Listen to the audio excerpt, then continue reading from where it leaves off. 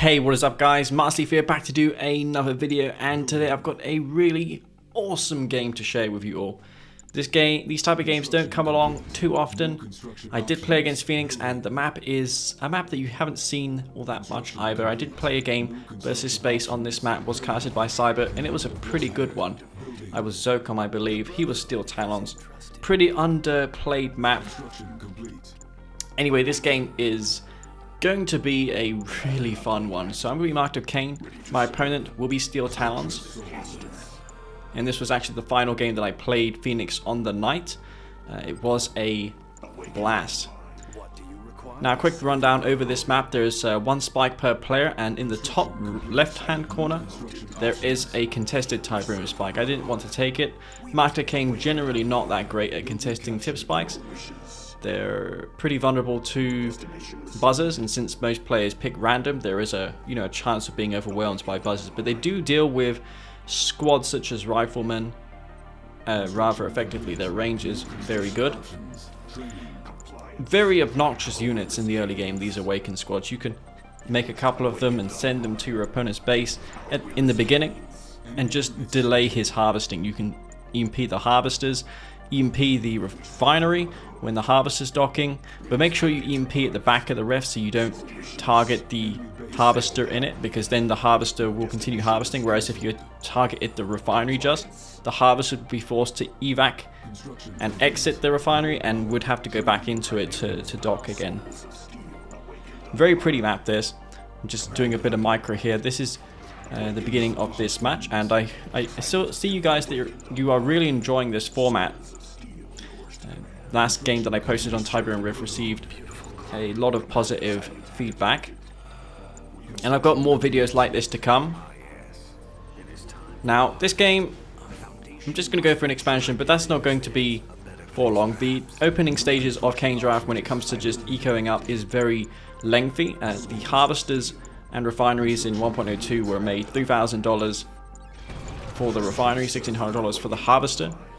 So it's a little slow paced early on. They did this to make it easier to counter rushes, but the exact opposite transpired. In fact, it's more cutthroat than ever having expensive refineries because if you lose one to like a flame tank rush, that's pretty game ending in the start.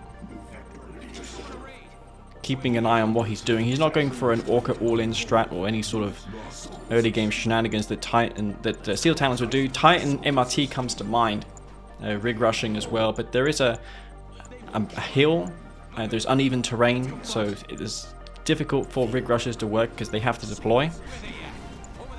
Wolverine there, probably to counter my Awakened. I would have made a MRT with a rifle instead, just because that has more mid to late game utility. You can use that to heal your titans up or whatever.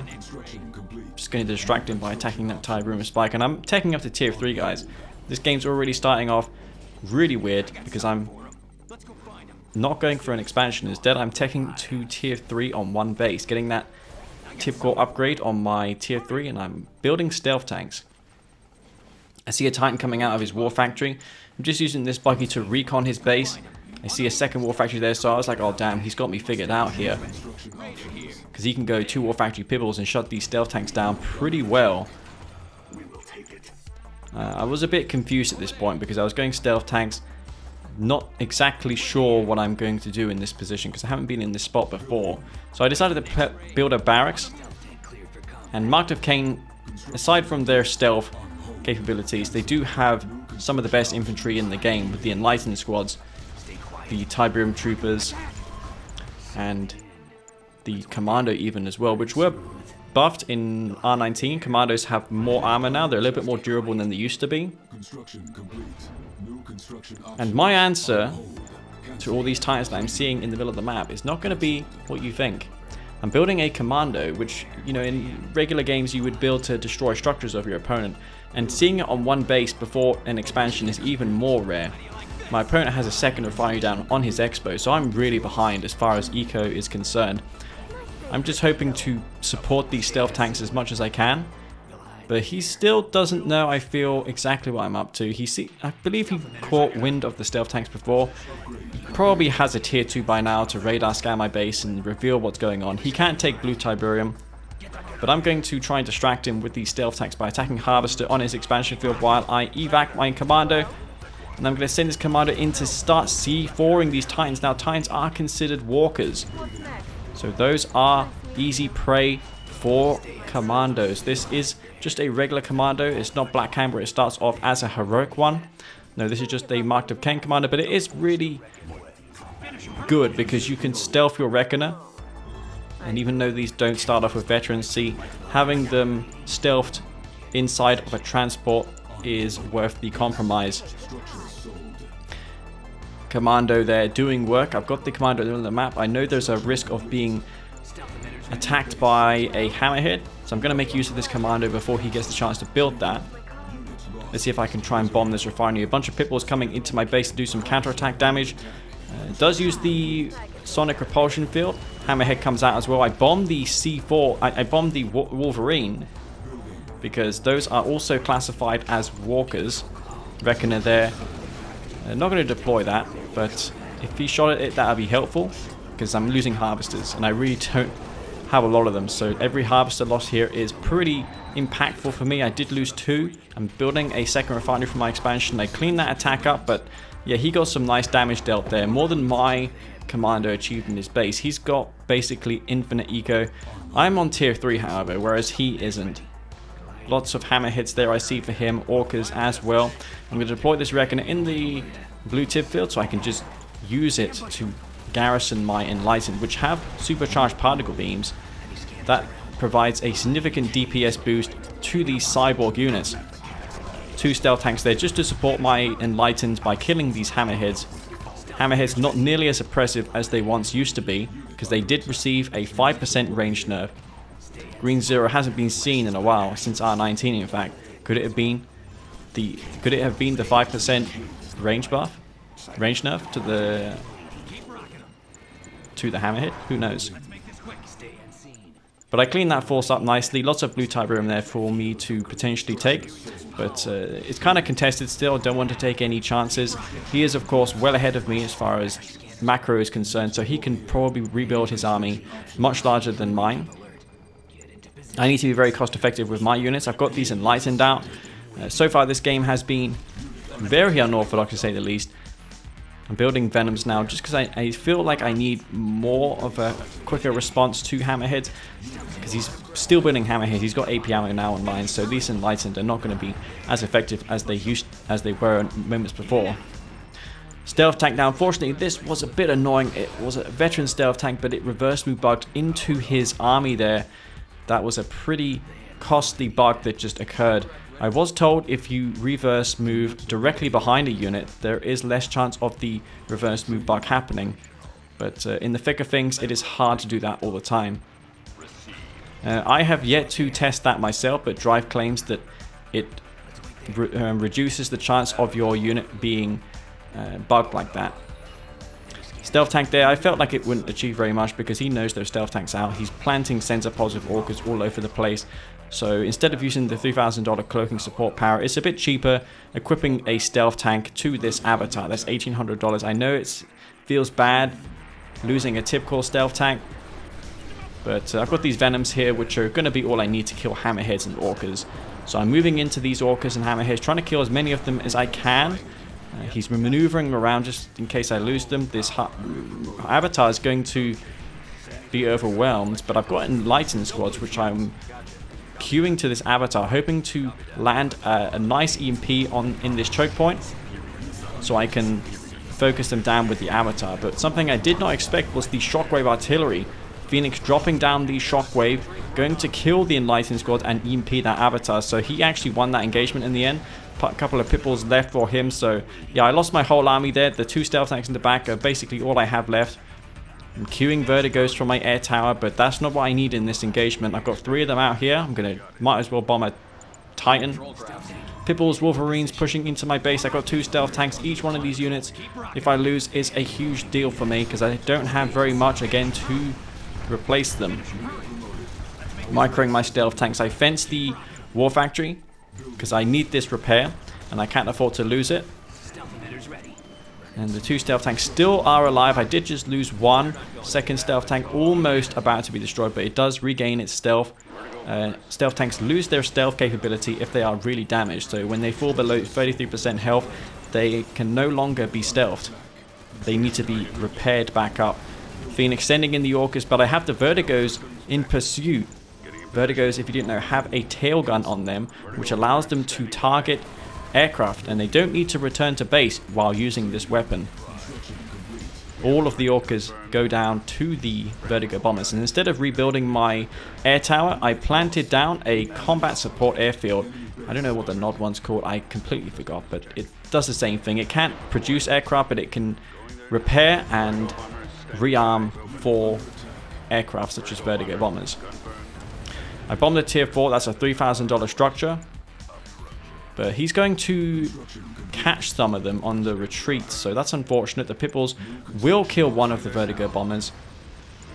I start planting down... Uh, he starts planting down uh, sensor pods. Phoenix is a big fan of those.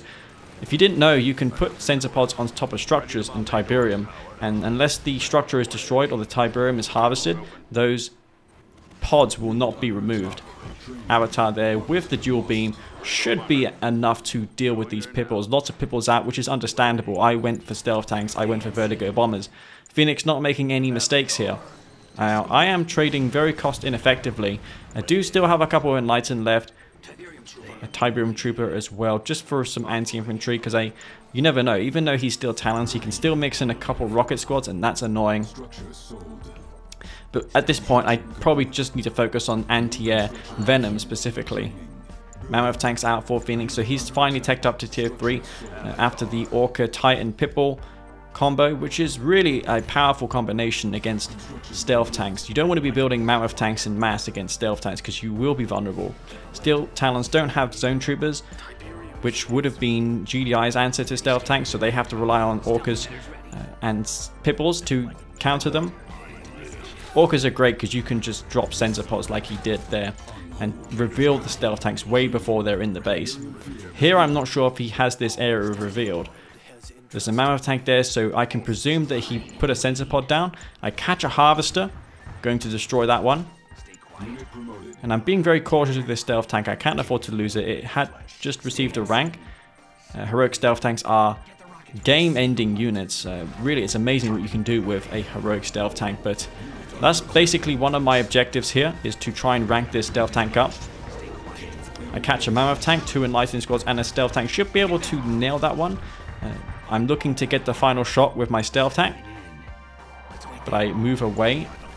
And I set my sights on that harvester there, which I see went away from the blue Tiberium field. So Phoenix is microing that one away. The uh, Redeemer is just on the left side of my base because I felt like he had a bunch of Pitbulls approaching my base from that direction. A lot of Pitbulls here with mortars now. Enlightened, traditionally good against infantry, uh, now suddenly are going to find themselves outnumbered and outgunned because they don't... Because the Pitbulls have mortars, and mortars are really good against infantry. They inflict grenade-type damage. Trying to harvest this blue tib, but yeah, he's taken the tib in the bottom right corner. I know he's got a refinery down there, so I didn't even bother to look for tib. The, the blue tib in the middle though is something that I can potentially pick up. Somehow detects that stealth tank, I pull that back to base for repair. I try and claim some blue tib while I can because I'm getting really low on Tiberium. This Redeemer making its way to the top of the map. I sell this combat support airfield because I just don't have any Vertigos left over. The one air tower that I have is enough for repairs.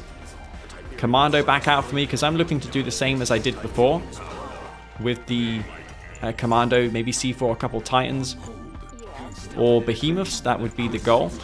making a Reckoner just to do that. And if you didn't know guys, in R19, the Vertigo Disruption Pod doubles the duration of stealth. So it, if you put a Disruption Pod down, it now lasts 4 minutes as opposed to 2 minutes in previous patches. Redeemer getting EMP'd by the Shockwave Artillery Behemoth coming in to destroy that Redeemer, but the Stealth Tank has found it. He's going to get some nice rear damage on this um, Juggernaut. Behemoth will be destroyed. Pitbull's in pursuit of the Stealth Tank. The Redeemer lives. I've got the two avatars as well. I need to destroy this top expansion because I'm really base contained otherwise. I need to take out this base because he's got a lot of eco over me. Probably has the top left spike as well, fueling his economy. Stealth tanks. I, at this point, was a bit confused as to what to do because, you know, the way this game started and the way it is now, who, who can blame me? It is pretty wild.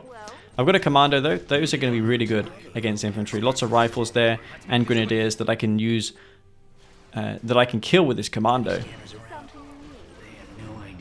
Maybe I can use this stealth tank to scout ahead, but it's an expensive scout. I'd be better sending in a Venom.